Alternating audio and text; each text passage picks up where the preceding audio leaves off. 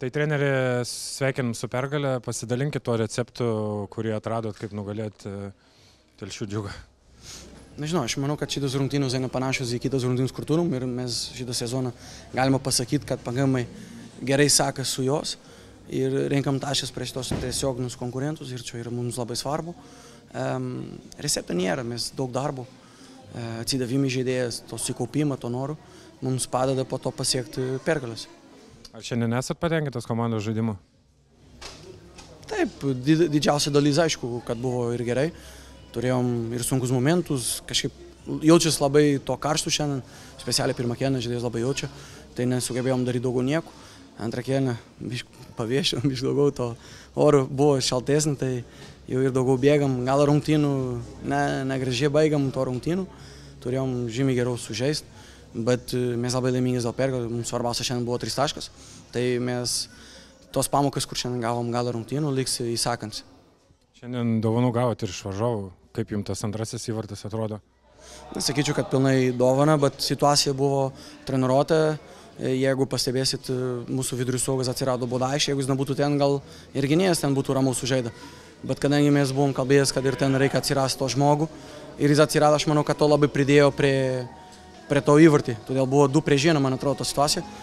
Aš manau, kad pridėjo stipriai, aišku, nusuklydo, bet kas nesuklydo šitą pasaulį. Ir mes suklydom. E, tik mes pasinaudojam tos klaidus, kurios daro, o jos nepasinaudojo iki galo tos klaidus, kur mes padarom.